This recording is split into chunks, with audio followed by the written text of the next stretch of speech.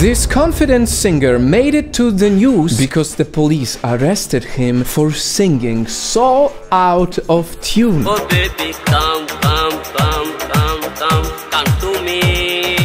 Technically, he was arrested for wearing a police costume in his videos without permission. He was also asked by the police to stop singing altogether, because apparently he was too ugly to sing songs made by geniuses. Every night in my dreams, I see you.